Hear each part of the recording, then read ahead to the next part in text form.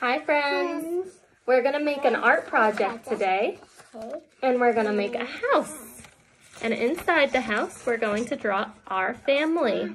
You can draw whoever you want in your house. You can include your pets, mommies, daddies, sisters, brothers, grandparents, whoever's in your house. Yeah. Um. We we can do however we want. What it looks like in the inside. Our family. Mm-hmm. All right, so let's show them how to do it. Yep. First, we're going to take a piece of paper and we're going to fold the edges until they meet in the middle because this is going to be like our door to open it. And then, once you have your paper folded, we're going to fold in the top corners to make the roof. So it's going to look like this. Fold in the top two corners. All right?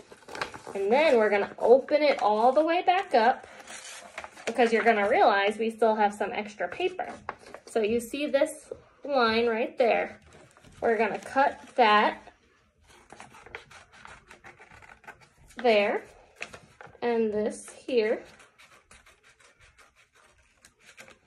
And it's just going to be a square in the corner. And we're going to do the same exact thing on the other side.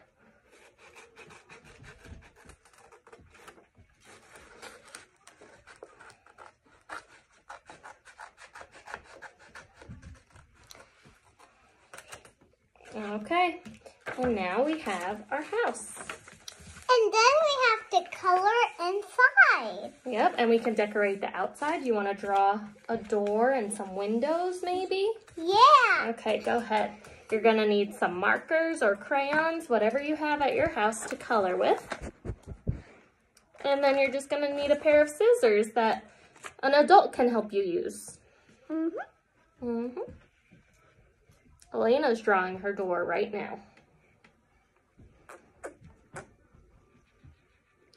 You can decorate the house to look like your house, or maybe look like one of the little pigs' house, or a house you've seen.